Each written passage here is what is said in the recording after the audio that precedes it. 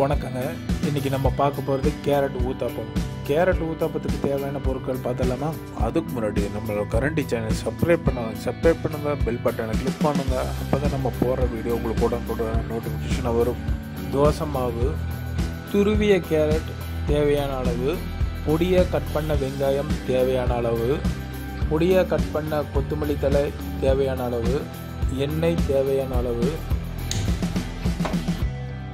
தோசைக்கல்ல தோசை மாவை சேர்த்துக்கலாங்க.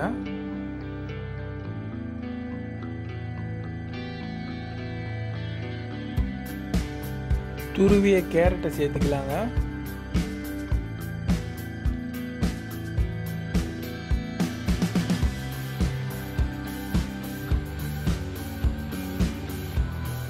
பொடியாக கட் பண்ண வெங்காயத்தை சேர்த்துக்கலாங்க. பொடியை கட் பண்ண கொத்தமல்லி தலையை சேர்த்துக்கலாங்க. நெய் ரெண்டு டேபிள் ஸ்பூன் சேர்த்துக்கலாங்க.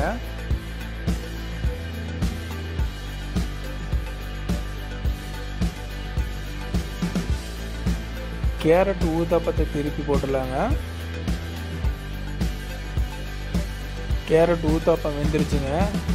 ஒரு பிளேட்டில் ஷிஃப்ட் பண்ணிடலாங்க.